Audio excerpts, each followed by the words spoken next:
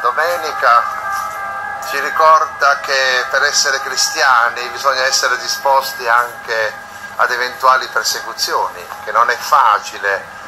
portare il Vangelo, testimoniarlo con la propria vita senza poi ecco, mettere in conto questa possibilità di essere contrastati, di essere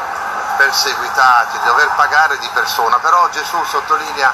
quanto sia importante tutelarsi, ma non tanto per quel che concerne il corpo, perché può essere pure che venga ucciso questo corpo, che possano uccidere il corpo, ma l'anima rimane, rimane nella sua integrità e, e soprattutto è l'anima che vale, l'anima che permane, l'anima che agisce. E l'anima che va anche tutelata, la sete di Dio che in ciascuno di noi, che nella nostra anima va appagata, va appagata anche con questo impegno di testimonianza, perché ognuno di noi è chiamato in virtù del battesimo ad essere testimone del Vangelo e questo non significa che non si debba dare incontro anche a delle difficoltà. A riguardo Papa Francesco suole dire spesso, soleva dire, ma recentemente ha ribadito che non è che essere cristiani significa eh, stare a un certo punto in una sala da tè a prendere dei biscottini con semplicità e con,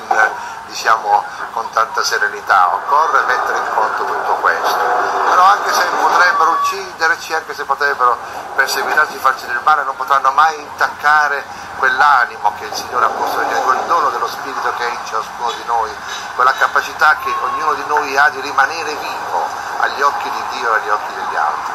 quella capacità anche di rischiarare le tenebre, di essere luce gli uni per gli altri.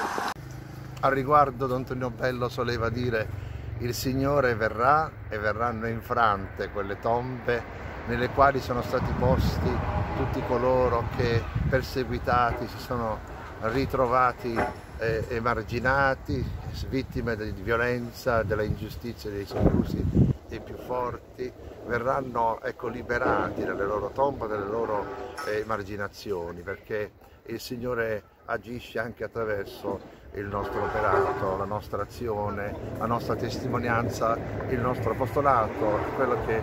siamo chiamati a fare appunto in quanto credenti. Buona domenica a tutti.